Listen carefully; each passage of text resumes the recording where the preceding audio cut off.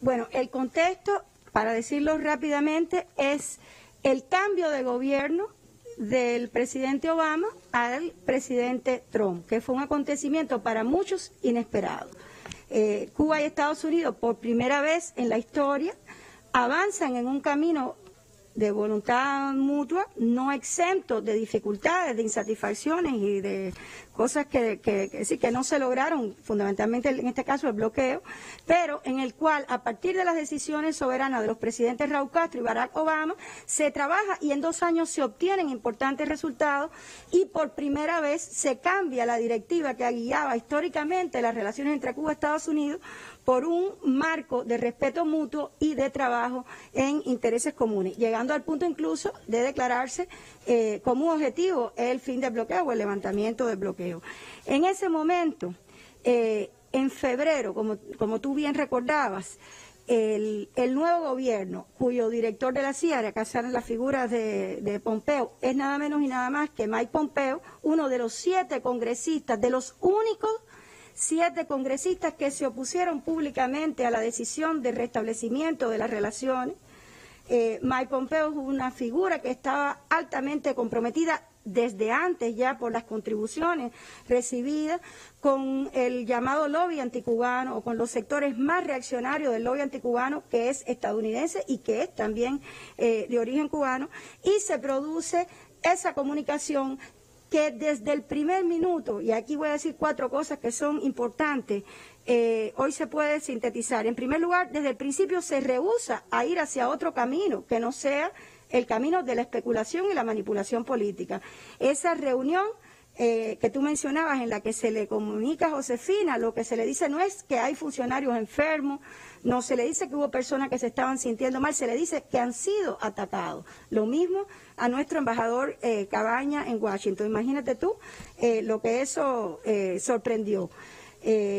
Precisamente por el, por el desempeño y, el, historial de Cuba en un tema tan sensible como la protección de los, sus diplomáticos y el respeto a la Convención de Viena. A pesar de eso, el gobierno de Cuba le otorga la máxima prioridad a esa comunicación y se toman medidas que lo demuestran decenas y decenas de compañeros de diferentes organizaciones, incluyendo médicos otorrinos, entomólogos, epidemiólogos, eh, neurólogos, eh, psicólogos. El Ministerio del Interior abre inmediatamente la Dirección de Investigación Criminal.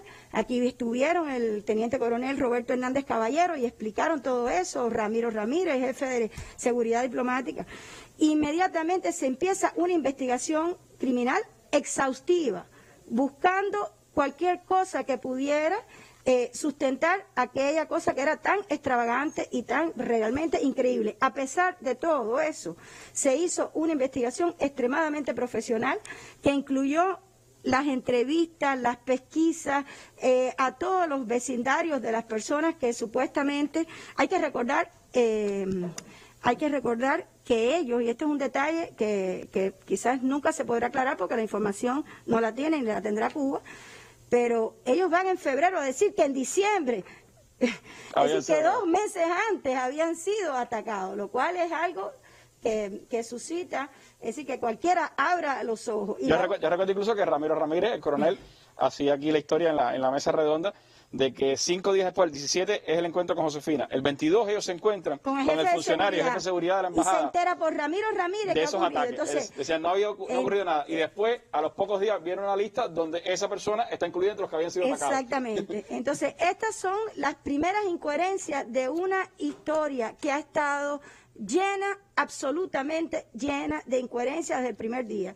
Pero estamos hablando cuatro años después y se pudiera decir seriamente para que esta historia ha tenido un altísimo costo para el pueblo cubano. Es decir, importantes medidas fueron tomadas sobre la base de acusaciones infundadas.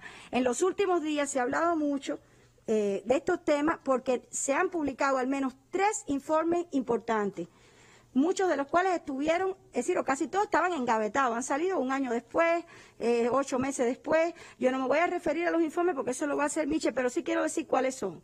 Uno es el informe del Departamento de Estado, que a solicitud del Congreso crea una comisión para investigar qué pasó y tratar de proteger en el futuro a sus diplomáticos. Otro fue el informe de la investigación que también es encomendada por el Departamento de Estado a las llamadas a NACEN, que es las Academias Nacionales de Ciencias de Estados Unidos. Y no se llama Academia de Ciencias, sino es un grupo eh, de academias de distintas especialidades. Ese informe también hoy es público.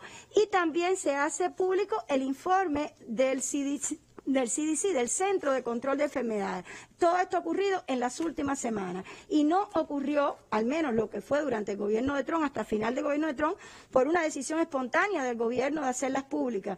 Ocurrió a partir de presión pública que invoca y de presión del Congreso que dice, bueno, ¿y dónde están esas investigaciones? El denominador común de todas estas investigaciones, o si se pudiera señalar dos o tres, es que en todas se revela falta de información, falta de información, incluso estamos hablando aquí de las instituciones que fueron afectadas a las instituciones que investigan, falta de acceso a las supuestas víctimas, violación en los procedimientos, negligencia y medidas prematuras que fueron tomadas, como la retirada de todo el personal de la Embajada de Estados de casi todo del personal de la Embajada de Estados Unidos en Cuba, la expulsión de nuestros diplomáticos también arbitrariamente eh, de los Estados Unidos, eh, sobre la base de síntomas diversos que no es posible, y sobre eso se explicará mucho adelante con bases más científicas que las mías, pero donde es síntomas diversos que es difícil atribuir a una causa común.